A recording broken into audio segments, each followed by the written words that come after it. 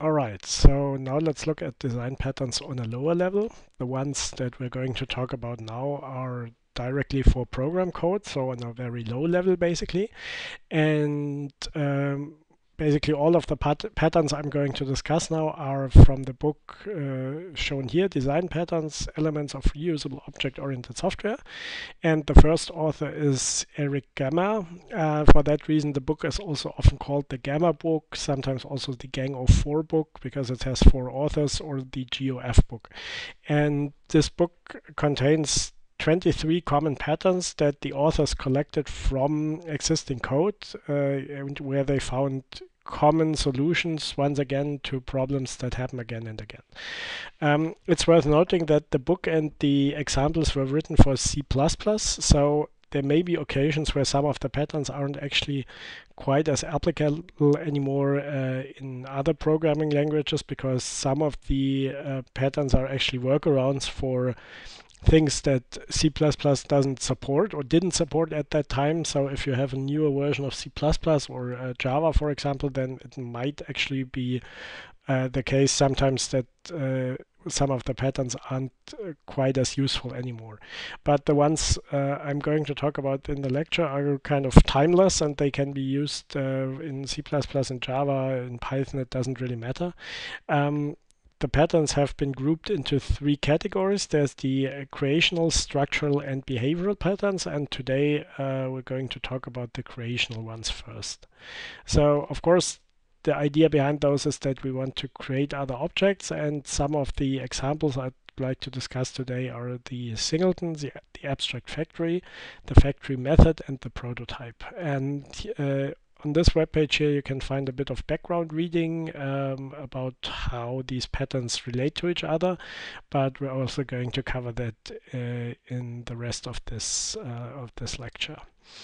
All right, so first of all, the singleton. This is maybe the most common design pattern, and the problem is that uh, for specific types of classes, you want to make sure that there is only one instance of that class, so that there is only ever one object um, that other um, parts of the program will share, and that you can't create additional instances of that uh, of that class. And the idea behind that is sometimes, for example, you have a hardware abstraction, so you have a, for example, a camera device, and then of course um, only one uh, uh, one driver, so to say, for that camera can exist. And if you create a second one, then you will get all sorts of uh, race conditions and uh, access uh, access collisions uh, on the hardware. Um, so the fundamental idea behind the singleton is that the class itself gets the responsibility for managing its instance. It's one single instance. And in Java code, this can actually easily fit on a single slide. So um, here is how this looks like. So we have a class, of course. Let's say this class just encapsulates a value. And the really important part is this uh, this line here. So we have a private static vari variable. Static, of course, means that this one variable is shared across all instances of the um, of the class uh, and it actually exists before uh, an, an, individual object has been created. And uh, the next important part is that the constructor of the class is actually protected, so you cannot access the constructor from outside. You cannot create a new object of that class on its own. You can only use this instance method below here to get access to, to such a global class object. So if you call instance and there isn't, because it's static, you can always do that without having to create an object first. Um, if the instance variable, the static instance variable is still null, then we create a new uh, instance of course. This is now possible because the constructor is protected, uh, but we're inside the class itself, so we can also access the protected constructor and can actually create a new object and then we return that. And when the instance function is called for the next time, then of course uh, as instance will already have a value and we return that same instance. So there will only ever be a single object of a global class, which is stored basically inside itself in this uh, static instance variable. So the most important aspect is that this part is private and this part here, the constructor, uh, is uh, protected. And so it's not accessible from, both of them are not accessible from the outside. You always have to go through this global class instance method. All right, so much already for the singleton. Um, now let's talk about the abstract factory. Abstract factory is a pattern where um, we don't create objects on our own anymore. We don't use new object or something, but we rather call a method on the factory object uh, and delegate the task of object creation to that factory object.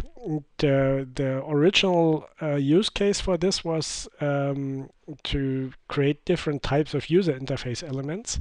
So if you have multiple families of objects that are uh, related and basically follow the same, for example, inheritance structure, then this is a very good example.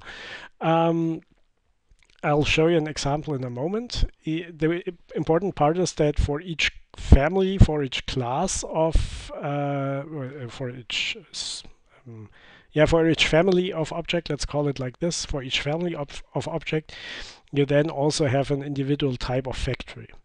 Um, the UML pattern looks like this, and here you can already see kind of the the idea behind that. So the um, the boxes, of course, represent classes in UML, and this is not strictly UML. This is kind of an annotation. These five sorts of classes together form the abstract factory pattern. Um, and for example, here you can already see how this is uh, supposed to work. You have an abstract class, which is just a GUI factory, and derived from that, for example, you have a Windows factory and a macOS factory, and each of these creates a, a button object, and uh, the, those share an interface for a generic button and both of them together are used by the application. And now it's easily possible to swap out, for example, the Windows factory with the Windows user interface for the OS X factory that creates the OS X interface. And uh, basically from the point of view of the application it doesn't really matter which kind of user interface you're actually using it always only calls the uh, GUI factory and gets back a, a button object and which individual instance that is the, the application actually doesn't have to care. Um, this can actually simplify your code a lot. So here's an example. Um, if you if you would write something like this without using abstract factory then you would need to have a, a choice up front in every so in every method that uses for example GUI elements you would have to check are we on Windows or are we on Mac OS and in that case we would need to create uh, a button and a menu for Windows. Oops, I'm sorry. And uh, in the other case we would need to create a button and uh, menu for uh, OS X, Mac OS. And if we have another operating system, let's say Android or whatever, then you need to create an Android uh, button and menu and so on. And then when we're done, we, we paint the widgets finally. Um, so of course, if you have multiple um, places in your code where uh, user interface elements are used, then you would have to put something like this if Windows, else if OS X, else if so and so. You would have to put something like this into every method, and if you change something, you would have to update it in every place. On the other hand, if you have a factory, then you can just at the very beginning of your program instantiate one factory. Uh, so if you're on Windows, then you create a Windows factory. If you're on OS X, you create an OS X factory. And then afterwards, if you need a user interface element, you just call, for example, create button and create menu on the factory, and you will get back a Windows button if you're on, if it's a Windows factory, an OS X button if it's a Mac factory, and so on. And so the code inside those um, those methods that actually create the UI elements would get a lot simpler because you don't really have to to care about anymore about um, what underlying factory actually uh, is creating the objects and what individual types you're getting back as long as, a, as it's a button and a menu, or in this case a widget, then it's actually perfectly fine. And so the, the, the selection between which type or which family of UI element you want to use, that choice is basically reduced to one single um, switch where depending on that uh, those flags, if it's on Windows or OS X or so on, you create an individual type of factory. All right, so next up, uh, maybe you already saw it, is the factory method. This is now uh, a kind of a building block for an abstract factory, for example. So uh, the abstract factory needs a way to um, actually create the new objects without having to, to do all sorts of internal switches again. And so the uh, the call to new is now replaced with a method call, and generally this is a so-called factory method. Um, this is also static and it's part of the base class, and usually this is called create. I'll show you an example. Um, so here we have the superclass and um, the create method, depending on what kind of parameter you pass, will return an, an object of each individual subclass. Um, and then for each subclass, you can just extend and override uh, the, the individual methods as you see fit. Um, the important part is that you can now just based on this this choice parameter get back uh, uh, uh, individual types of, of subclasses, objects of subclasses, without having to put this sort of code, this sort of switch statement, uh, basically uh, into multiple places in your code. Um, there's also an alternative way to achieve the same thing, basically, which is to uh, again create new objects based on a on a pool of objects. Here now um, it's no longer a create method, but it's a clone method. And so the idea is that we actually do create uh, individual objects of each subclass up front at the start of the program. For example, when the factory is initialized. And uh, from this pool of prototype objects, we don't create copies uh, or we, we don't just do pass by pass by reference, but we rather um, call the clone method and we'll get back a new duplicate of one of the objects from, from this uh, prototype pool. Um, once again, I'd like to show you a code example for that. So now we have, let's say we have an interface and this already has this clone method. And then we actually have a separate factory class, which here has, again, a static array of prototypes. And that contains each of the uh, one object for each of the subclasses. And um, then when I actually want to create an object from the factory, again based on that parameter.